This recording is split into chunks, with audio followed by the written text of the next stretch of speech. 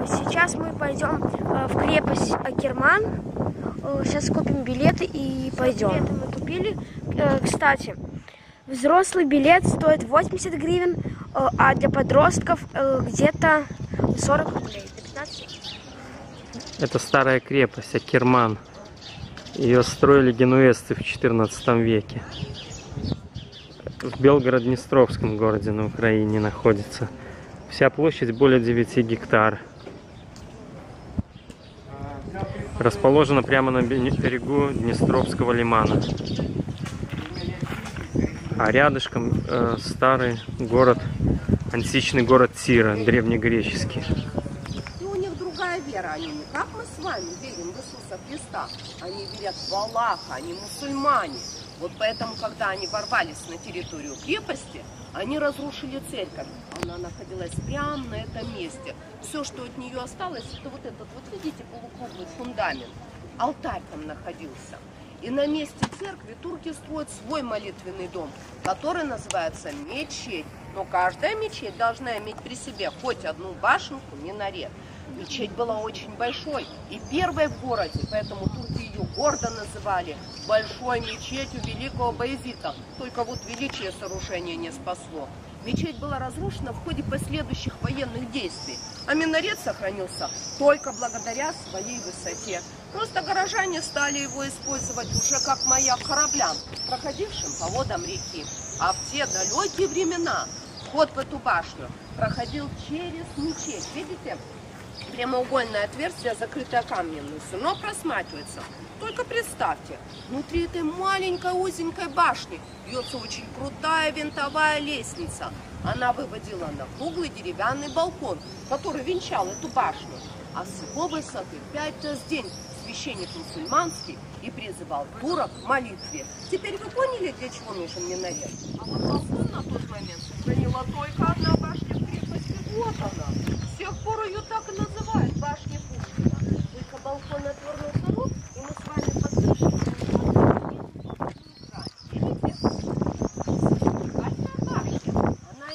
отопление с помощью камина потапливалась. И это говорит уже о том, что башня была не только защитным сооружением, но в ней проживал небольшой отряд военных. А вы видите, от башни Это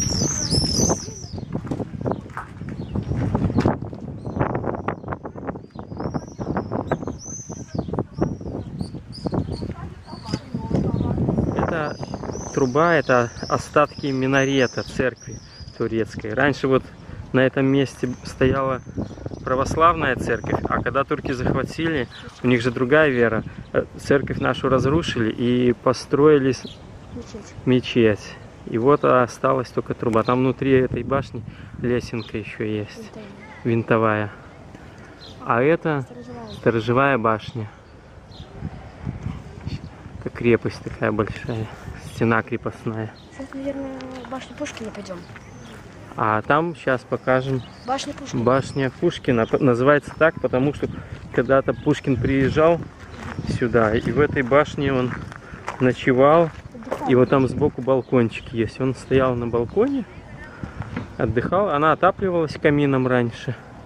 И рядышком карантинная зона есть, куда корабли заходили и пребывали в карантине, чтобы а ведь в нее попасть можно только со стороны второго двора.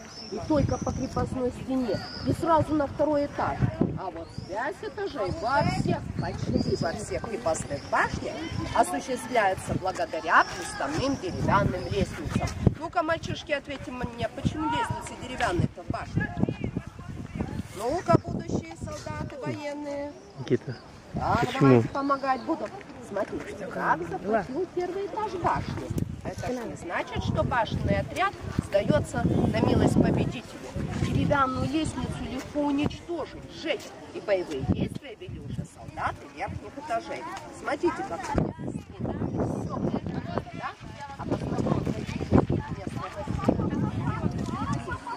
Помните, в начале экскурсии я вам говорила, для нашей крепости Бастион это башня, заполненная землей. А тут, смотрите, в заполнении только нижний этаж башни.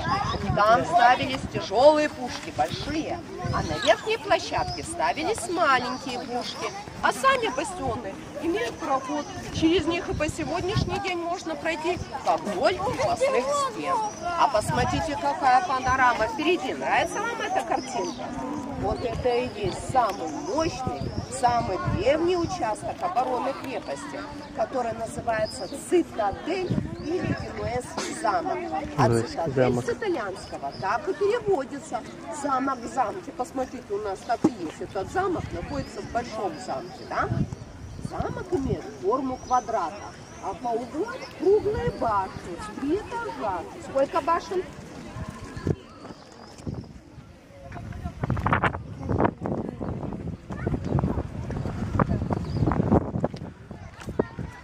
А мы на крепостной стене с Никитой.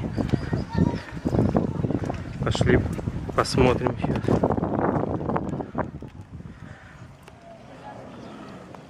Это лиман.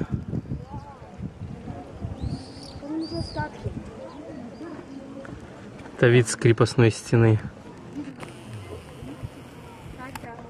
Там вон еще остаточки есть. Чего? Ну вон. Ну. А это Днестровский лиман.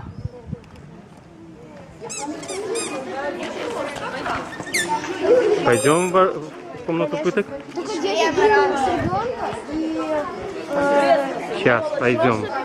Давай посмотрим. Сейчас пойдем. 2 рубля всего лишь белорусских доллара. Комната пыток. Масаж робили. Я зрозумів. Нет, папа, это не массаж делали, это кузня была. Що? Это кузня. Кузня, що це таке кузня, знаєш? Вот это. Гуляйтіна. А где этот рычаг? Посидіть не хочеш? Папа, а где этот рычаг? А он тусов. Ти просто це не... Где-то прикольно в камере, в комнате пыток. Такое кресло. Это сажа. Давай я, может, я достаю рядышком. Да, не хочеш? А это О, гильотина. Где-то гильотина. это штука стопорируется и вырубает человека. Увага. Раз, два. Вот самый плохой кузня в мире. Это что? Это такие специальные штучки,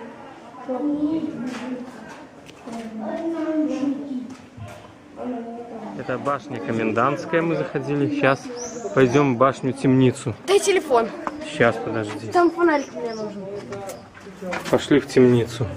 Дай мне фонарик, пап. Ой, тут не видно ничего. Дай телефон хоть. Подожди, не провалиться мы куда. Ой, тут темно.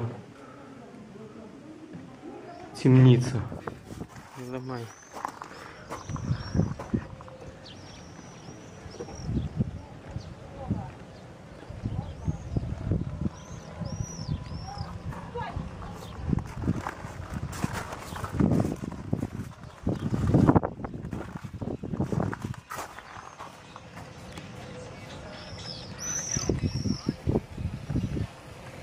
Вот башня Пушкина. Пойдем сходим. Вот это Пушкинская башня. Назвали ее так, потому что Пушкин, когда приезжал в Акерман, три или четыре дня тут жил в этой башне. Вон балкончик слева, в левом верхнем углу. Пушкин там любил стоять, сидеть, отдыхать. Отапливалась камином. Никита. А это ров такой вокруг башни идет. И он мог наполняться водой в случае нападения осады. Вот Пушкинская башня.